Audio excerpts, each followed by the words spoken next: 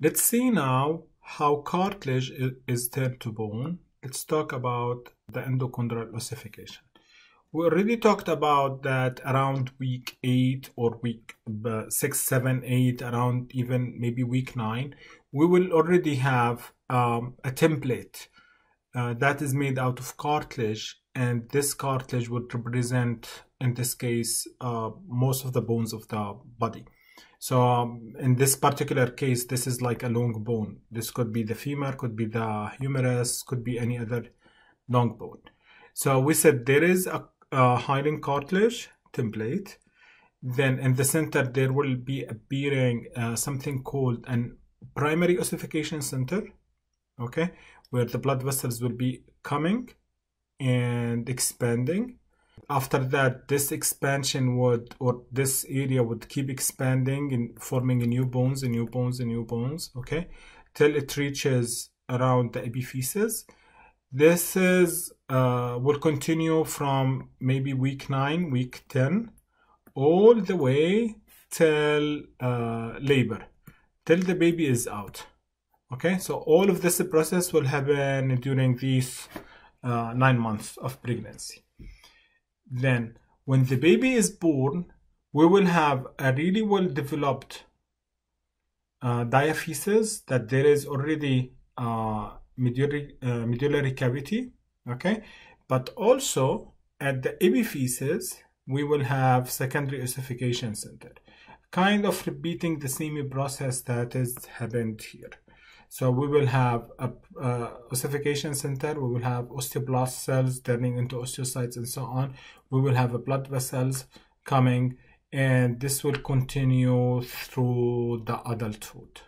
Okay, till the uh, that baby is in early adulthood when bone growth would uh, stop and most of the cartilage will turn into bone. So again, we said around week six, week seven, we will have the template. Around week nine, week uh, around week nine, we will have something called the primary ossification center that would start in the shaft of these long bones. Uh, this primary ossification center would keep expanding and adding new bones through labor till around labor. So we will have at labor, we will have a good developed medullary cavity, uh, compact bones, okay? But the epiphysis is still cartilage. Around labor and the epiphysis, we will start having secondary ossification center and the entire process happened earlier would repeat itself. And this process, all of this cartilage will be turning into bone through the uh, early life of of the infant of the kids till around adult, adulthood where most of the cartilage is turn is already turned or turning into bones the only areas that usually would remain with cartilage is the surfaces the articular cartilage okay and this is needed for making the bones and the epiphyseal plate. Epiphyseal plate would continue to be cartilage till maybe uh, late adulthood. So maybe around uh, 18, 19, maybe sometimes 21. Still it's there, but after that it will turn into bone. So that is the all the overall process. That's what I you know that's what I want you to understand the overall process without getting into the details of what's happening here and there. Uh, just understand that we are starting with cartilage that there is primary ossification center in shaft in diaphysis okay? Then there is secondary ossification centers in the epiphysis okay? And this process would continue through adulthood. So when the baby is born we will have uh, medullary cavity already but two secondary ossification centers. So now if you have a baby in in your in your family you will you know talk to them oh you little boy with two secondary ossification centers. Um, so and most likely his or her mom will kick you out. Okay? But that is the entire process or that's the overall process of the endochondral ossification. However, what I want you to, you know, to also uh, to have a look at is how bone is growing in length. And before we go there, I will play a video using some blocks uh, that would represent this process and then we will come back to here. In order to understand how bone growing in length, we will use some blocks. Here we can think of the green block as uh, the epiphyseal plate and this epiphyseal plate is producing new cartilage cells, right? And then here we have the bone. So every time the epiphyseal plate is producing cartilage cells, the old cells will be pushed down. Now, when these cells, the old cells, are around the bone, these cells are going to die. And they are going to die and they will get replaced by bone. So I'm going to replace them with bone.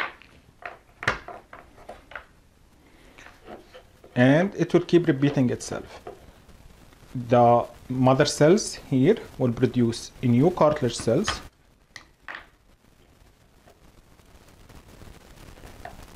The cartilage cells would push the old cells down.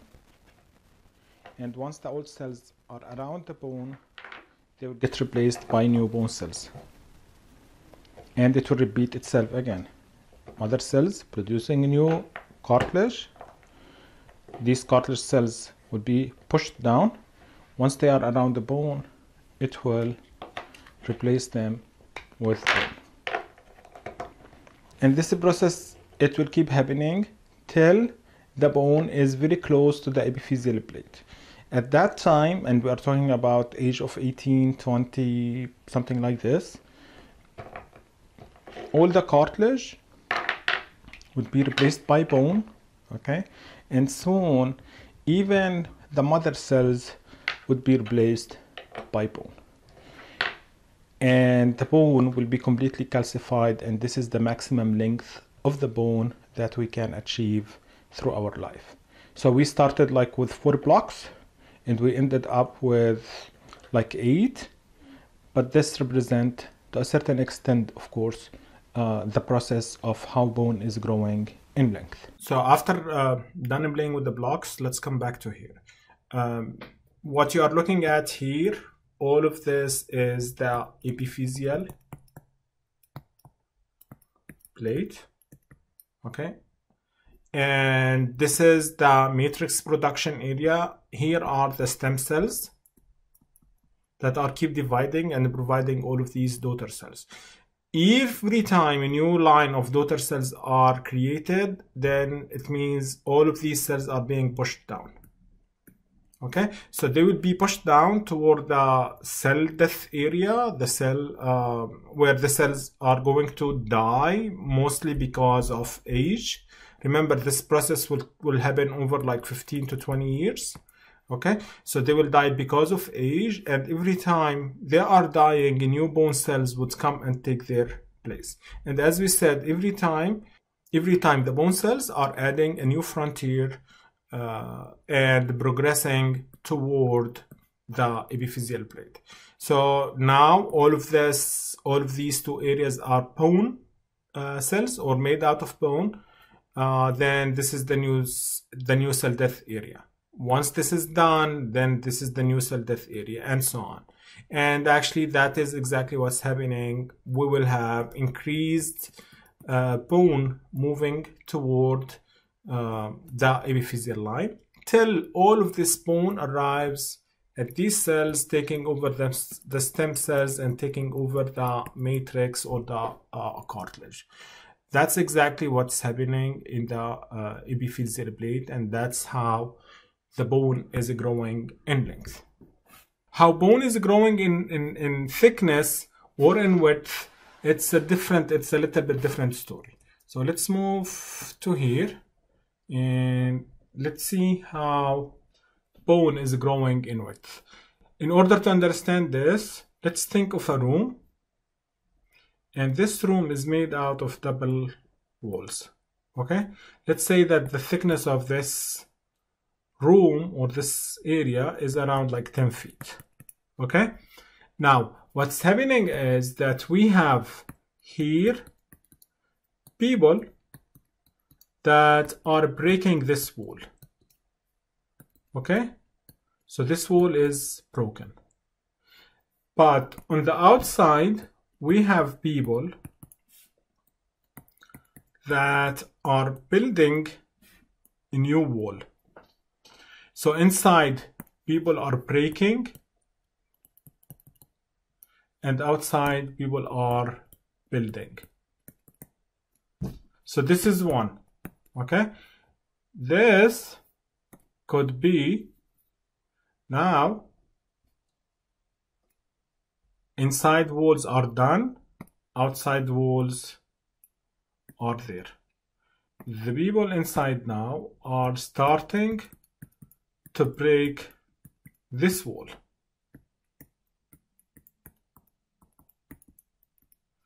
The people outside, they are starting, I know these are like very beautiful drawings of people.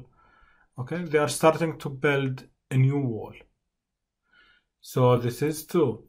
Soon, what we will have, we will have a room, okay, that its wall now is this first line, okay, and we have the second line. The people inside now, they are breaking this red this red wall, okay, and the people outside they are already trying on their third wall so this is three. Now these people the people inside they already broke oops not like this. The people inside they are already broke the first red line and now they are on the second red line. Okay so the first one is already gone okay? There is one outside but the people inside they are now attacking the new wall okay so this process would keep going. People inside breaking wall but every time every time they are breaking this wall there is a new wall after it. So they will always keep moving away from the center.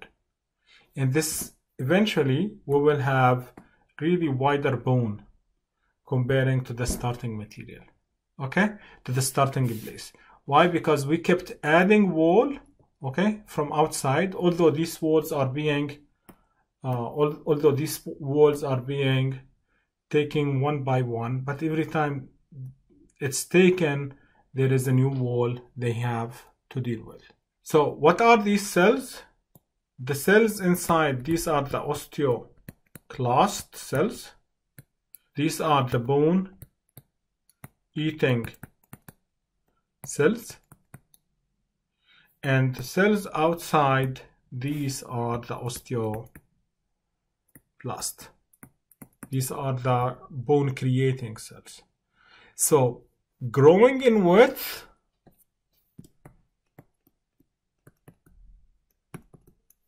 or thickness or thickness is a delicate process it's a balanced process between osteoclast and osteoblast cells. It's a delicate process between the osteoclast and the osteoblast cells. If this balance is changed, meaning that we have we have more buildings, more walls from outside and less uh, breaking of these bones from inside, this would mean that there are areas of bones that are thicker than other areas, which will put much pressure on the smaller areas or the thinner areas. Or if we have higher activities of these osteoclasts comparing to the osteoblast, it means that we are uh, degrading or we, these cells are breaking down bone faster than the time needed to build the new bones, which will cause uh, the bone itself to be very weak. So growing in width, it's a very balanced process between the activities of both osteoclast and osteoblast cells.